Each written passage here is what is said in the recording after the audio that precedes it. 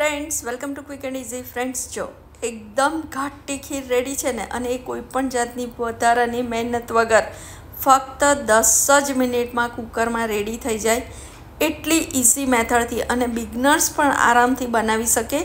એટલી સરસ રેસીપી લઈને આવી છું પ્રસાદની. તો એના માટે તમારે ચોખા લેવાના છે એક નાનો કપ એટલે કે તમારે ચાર ટેબલ સ્પૂન જેટલા.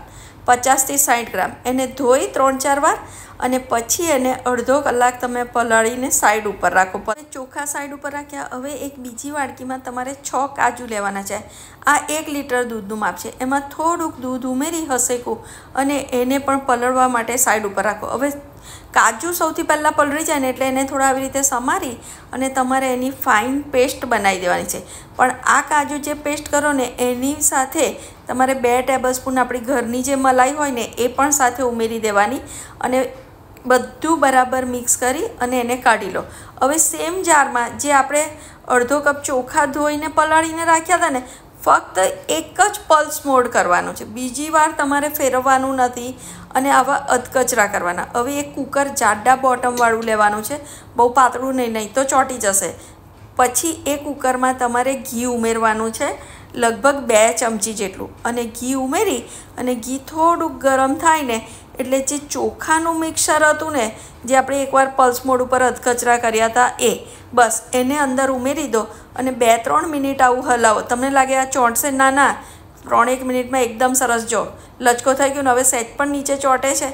નહીં ચોંટે. હવે એક લીટર દૂધ હતું ને, એમાંથી અડધું દૂધ તમારે ચોખામાં ઉમેરી અને બધું બરાબર મિક્સ કરી દેવાનું. પહેલાં તમને એવું લાગશે કે બધા ગઠ્ઠા પડી ગયા, પણ ના, ધીરે ધીરે અંદર બધા જ ઓગળી જશે. એકાદ બે મિનિટ તમારે આવું હલાવવું પડશે અને પછી થોડુંક દૂધ ઉમેરી દો. એટલે કે પાંચસો એમએલથી વધારે દૂધ તમારે કુકરમાં નથી ઉમેરવાનું હમણાં. અને બાકીનું પાંચસો રહ્યું ને, તમે બાજુના ગેસ ઉપર સીમર થવા દો.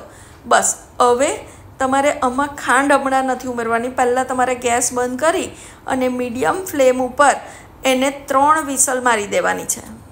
હવે આપણી વિસલ પણ થઈ ગઈ અને કુકર પણ ઠંડુ પડી ગયું છે. ચલો આપણે ખોલીને જોઈએ કે અંદરની હાલત કેવી છે. અરે, એકદમ સરસ છે ફ્રેન્ડ્સ જો, દૂધ સેટ પણ બહાર આવ્યું એટલે પહેલાં આપણે અડધું દૂધ અંદર ઉમેર્યું. અને તમને લાગ્યું, ના, નીચે ચોટ્યું ના સેટ પણ ચોટ્યું નથી.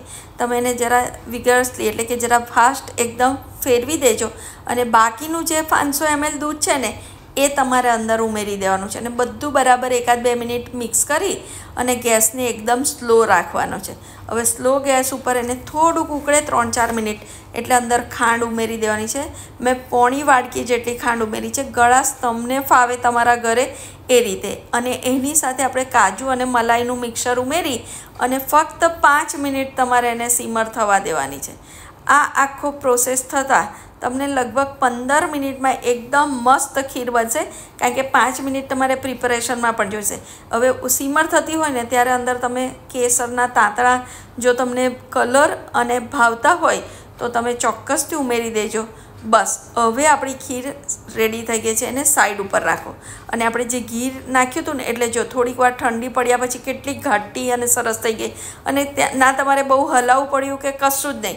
હવે એમાં એલચી અને નટ્સ તમને જે ભાવે એ. ફ્રેન્ડ્સ, આ એકદમ મલાઈદાર ને મસ્ત ખીર રેડી કરવાની આ ઇઝીએસ્ટ મેથડ છે અને બહુ જ સરસ તમારી ખીર રેડી થશે. હવે એને ઠંડી કરવા માટે મેં આવી રીતે પાણીમાં મૂકી દીધી હતું. હવે જુઓ, કેટલી ઘાટીને સરસ ખીર રેડી થઈ ગઈ છે. તો તમે પણ મારી રીતે એકવાર ચોક્કસથી આ ખીર ટ્રાય કરજો અને તમારા ફ્રેન્ડ સાથે શેર કરજો. Thank you